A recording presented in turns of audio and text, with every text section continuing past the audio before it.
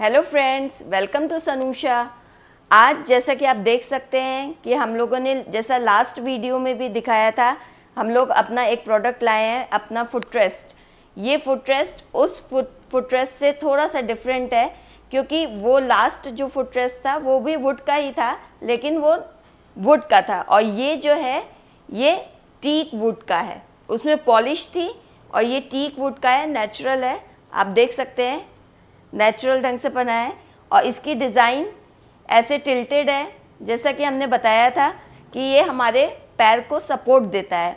हम अगर पैर ज़मीन में रखते हैं तो उस पर हमें उतना सपोर्ट नहीं मिल पाता और अनकंफर्टेबल होता है। लेकिन अगर हम पैर को ऊपर रखते हैं फुटरेस्ट पे तो हमें इसमें प्रॉपर ग्रिपिंग मिलती है प्रॉपर सपोर्ट मिलता है। आप जैसा कि जानते हैं कि हम लोग ऑफ़िस में बहुत दिन, देर तक काम करते हैं या घर में भी बहुत से ऐसे काम होते हैं जिसमें हमें बैठ के बहुत देर तक काम करना पड़ता है, जिससे हमारे पैर पैर में पेन होने लगता है या स्वेलिंग आ जाती है। या ब्लड सर्कुलेशन ठीक से नहीं होता है, जिससे नमनेस आ जाती है तो डॉक्टर भी एडवाइस करते हैं कि आप बहुत देर तक पैर को नीचे लटका के मत बैठिए या नीचे सपोर्ट रखिए।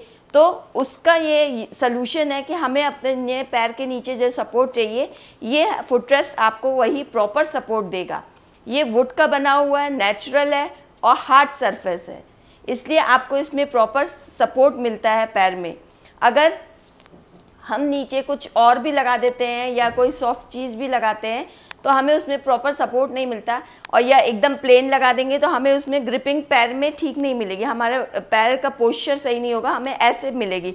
लेकिन ये टिल्टेड होने के कारण इसमें हमें पैर में प्रॉपर ढंग से सपोर्ट मिलता है। इसीलिए इसकी डिज़ाइन ऐसी बनाई गई है और ये बीच बीच में इसमें आप देख रहे होंगे गैप है, जिससे कि हमारे शूज़ या सैंडल में डस्ट वगैरह रहती है, वो डस्ट नीचे गिर जाए और आपका ये फुटरेस क्लीन रहे। उसके अलावा इस फुटरेस में एक और मॉडल आता है, ये ग्रास वाला। ऐसा ग्रास नहीं है, लेकिन प्लास्टिक ग्रास है इसमें। ये हार्ड है। लास्ट टाइम जो वीडियो में आपने देखा था, उसमें जो ग्रास थी, वो आपको नेचुरल पार्क की फीलिंग आ रही थी, वो प्रॉपर ढंग से ग्रास था। लेकिन वो प्रॉपर प्रॉपरली मतलब ग्रास का लुक भी दे रहा था फीलिंग भी दे रहा था। लेकिन ये जो ग्रास है, ये हार्ड है। ये आपको एक्यूप्रेशर का फीलिंग देगा। ऐसे आपको लगेगा कि इसमें थोड़ा सा पैर में पिंच सा हो रहा है, जो एक्यूप्रेशर का काम करता है। ये आप देख रहे होंगे, एकदम हार्ड है। ये ग्रास इसमें हार्ड है।